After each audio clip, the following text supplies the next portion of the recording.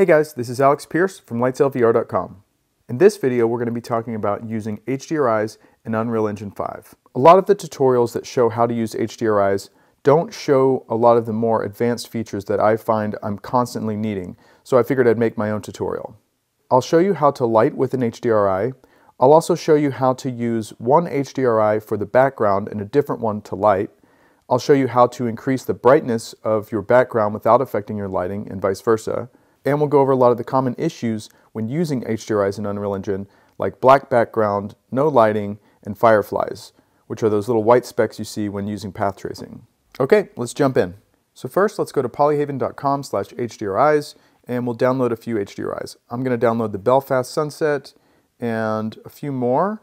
When you download an HDRI, make sure that you use the HDR mode.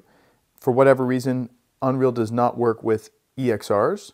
So choose your resolution, HDR, and then download.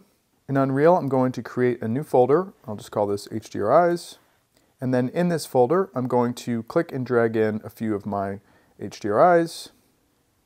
I'm going to delete my HDRI backdrop. We'll just start from scratch. I'm going to turn off this sky sphere for now. We don't need it. First, go to Edit, Plugins, search for HDRI backdrop. If you don't have it enabled, go ahead and enable it and then restart. With it enabled, you can go to this little cube here, go down to Lights, HDRI backdrop, and add that to your scene. And I'm going to select the HDRI backdrop. I'm going to drag it up to my environment just so it's all organized. And then here, I'm going to go to the top. I'm just going to zero this out, zero, zero, zero. And you can already see my first issue, which is I have the HDRI backdrop in there, but it's black.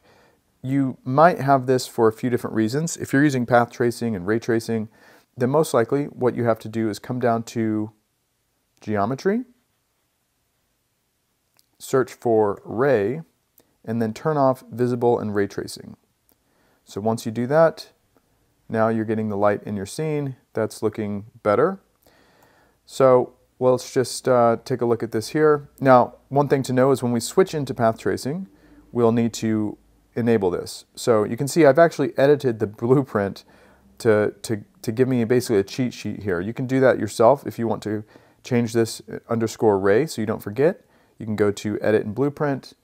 You can ch check on geometry and then you can rename it here to whatever you want and then compile, save, and then you'll have this cheat here that'll tell you you need to, uh, this is where you type in ray.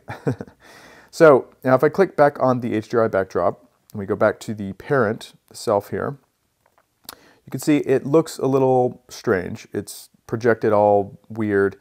And depending on what your scene is, you will have to change these projection settings. You can change the size of the HDRI backdrop. And if I zoom out here, you can see exactly what I'm doing here. You can changing the size of this dome. And then you can change the projection center. So you can move this further out. You can also click on the projection center and then drag this as you need to. And then depending on your HDRI or your scene or whatever, you will need to affect this in many different ways. And depending on where your camera is, it also will affect these things. The other thing you can do is use camera projection. So if I use camera projection, then no matter where I'm at, it's going to project the same way. A lot of times, use camera projection is fine. For this tutorial, that's all I'm going to use. So now I want to zoom in here so we can see these reflections before we start talking about the rest of these things. So the HDRI backdrop actually has two different places that light. So you have this HDRI backdrop, and if you go up here, we have this approaching storm 4K. This is the cube map. This is lighting our scene. So changing the intensity changes the light. So we'll set this back to one. And now if we go to skylight, this also affects our scene. And if we change the intensity here, you can see this changes. And sometimes you want to just search for effect and just turn off the effects world. I actually don't use this method uh, and I'll show you why. What I do here is I actually change the source type to specified cube map and then I search for the same HDRI if I'm using the default HDRI, so in this case approaching storm, and now these two are the same. So you have the backdrop approaching storm 4K, skylight approaching storm 4K. Right now they're both at 1.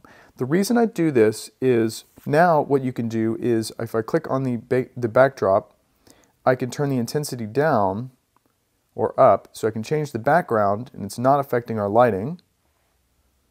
So actually let me just exaggerate this. I'm going to make the background brighter and then I'm going to select on the skylight and then I'm going to change the intensity down so I can change the lighting independently of the background brightness. And this is always important for me because my background brightness and the, the, the lighting intensity are almost always never exactly the same. And you'll see this more when I drag in a different HDRI. So now let's drag in, um, let's do this Belfast sunset. So skylight is for lighting, and you can see I've edited the blueprint to say lighting. And this backdrop, the cell phone here, this one is for the background. We can use a different background for our backdrop. And let me turn the intensity back down to one. And now we're using the lighting and reflections from this skylight lighting, okay, the approaching storm, and our backdrop is a different HDRI. So, if, and you can see this if I, if I come into the, the reflection capture here, you can see it's not the same HDRI. Now this is sort of a dramatic effect just so we can see the difference. You, obviously this wouldn't be a great idea to light with a completely different background, but it's a good example to show you how it works. Another thing while we're here, if I click back on skylight lighting, you can see that this resolution is not very sharp.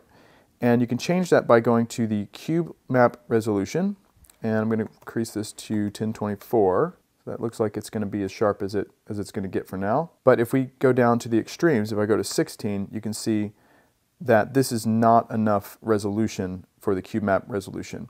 Um, unless this is the style you're going for. If you want the reflection to be blurry, this is actually a, a good way to cheat that. Let's go back up to, let's go to 1024. And you can notice this doesn't actually affect the quality of the light. So even if this is at 8, the lighting quality still looks pretty good. Uh, for now, I'm just going to go back to 1024. So now I'm going to bring the Belfast sunset onto our skylight cube map so that you can see a real example. So we have the same HDRI for our backdrop and our skylight, but let's say we want to rotate the background. We have to make sure that we rotate these at the same time, and I'll show you what I mean. To change the rotation of the lighting and, and reflections, go to Skylight, Source Cube Map Angle, and drag. If I just rotate the skylight, we'll see in the reflection here that the lighting and reflections are changing, but the background is not. So let's change this to 180, just for dramatic effect.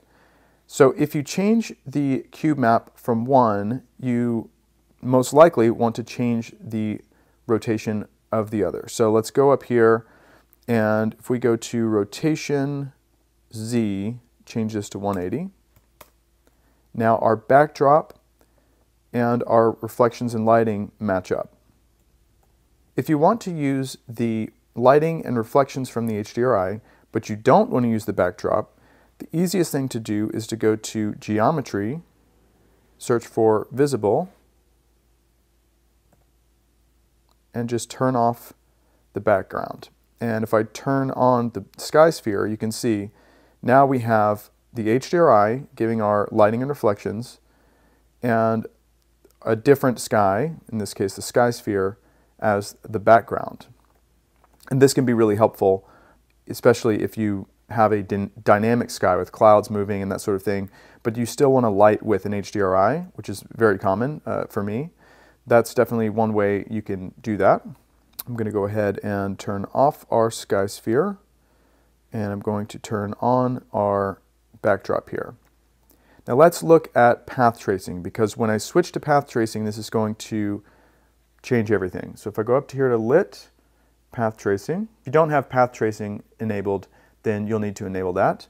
And you can notice right away probably a few things, but the first thing I noticed was that the background went away. And to change that, you go to the geometry and search for ray, and then visible and ray tracing, turn that on. So now we have, it's visible in our ray tracing. I'm going to drag in a different HDRI to show a specific issue that you will run into if you're using HDRIs and path tracing. So I'm going to drag in this forest one. Um, let me cr crank up the intensity a little bit. So in this example, you can see, it might be hard to see on the screen, but if I go into this black area, you'll see it a little better. You can see all these white dots. These are called fireflies. I'm not going to explain what they are, but just know that if you see a bunch of white dots and, and white specks, these are called fireflies. And there's a very simple fix to fix this. And you can see when it finishes rendering, it goes away. You can see while we're rendering, you see all these fireflies everywhere. I'm going to go to my post-process volume, search for samples. Path tracing, I'm just going to turn this down to 10 to exaggerate the effect. So you can see while we're moving around, there's a lot of fireflies, and then when we stop, they go away. If I search for denoise, and I turn this off, you'll see that we still have all these fireflies. And when I go to render, I'm not going to use Unreal's denoiser for various reasons. That's another tutorial on it, all, all on itself. So if I turn off this denoiser, I can really see these fireflies. To get rid of these fireflies, there's a few different things you could do. Denoising does it, but that's not the way you should do it. So with the post-process volume selected, search for max path exposure. You get this max path exposure here. So if I select this and I go down to 1, you can see the fireflies almost went completely away. I can go down further to 0.1. You can see they're almost gone. So here's, here's at 30, here's at 1. So 1 is probably a little extreme. I usually go maybe like 3 is probably a good number. And now if I add more samples, it's easier to see if I set the pixels to 100. So I'm going to set the pixels to 100 here. And let's go back to max path.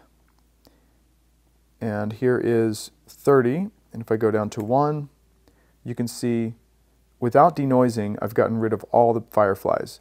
1 is, is usually not enough. You need something a little bit more than 1. So I usually like to go to 3 or so. And you can see, I don't know if you can see, but on my screen I can see that there's still a lot of fireflies. If I go back to samples, let's see if just adding samples will fix that.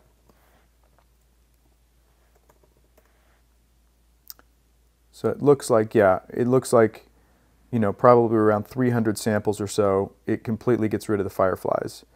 So this is something that is a, is a common issue in all rendering programs, but this is the way that you fix it in Unreal. All right, that's gonna wrap up this tutorial. Let me know in the comments if you have any questions. I hope this was really helpful for you, and I'll see you in the next one.